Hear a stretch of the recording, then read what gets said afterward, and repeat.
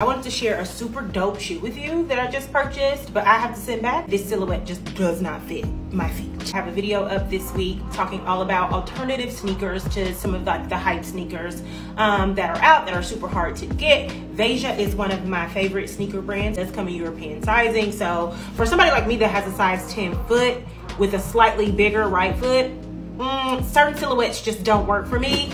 This one, unfortunately, doesn't work, but it's a dope shoe, so somebody should go buy it. This is the Rio Branco uh, Hexa Mesh silhouette in gravel nautical oxford gray colorway and i am obsessed with this shoe especially the red sole. It has so many plans. I have a pair of uh, navy zip up uh, natalie ratabesi tre by natalie ratabesi sweats that i was gonna wear these with. I have to send it back but i wanted to share them with you in case any of you like them. You have to go check them out. You can get them from net-a-porter i ordered mine directly from veja but like this is a dope shoe if you're looking for an alternative sneaker